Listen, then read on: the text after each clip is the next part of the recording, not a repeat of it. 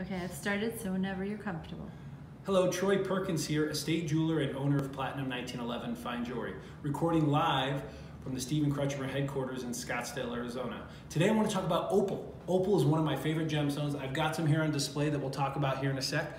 But opal comes in so many different colors. Now it's only known to be found in two regions, in Australia and in Africa. So we've got some white crystal opal here from Australia. We've got a dark gray opal from Australia, another Australian white opal. This is a Boulder opal. Um, we've got some white crystal Australian. Um, this is actually a dark gray opal. Here in the earrings, we do have some black lightning ridge from Australia opal. Two more Australian opals, and in the back here, we actually have the only set, they are African opals, called sometimes called jelly opals. Now, opals are softer gemstones. They are five to six on the Mohs scale. Um, the Romans actually thought opals to be a powerful gemstone because of its many colors. But again, I love Opal. Again, it is really hot and back in the market today. I don't think it ever went out of style. But if you have any questions, please comment below and check us out at platinum1911.com or Steven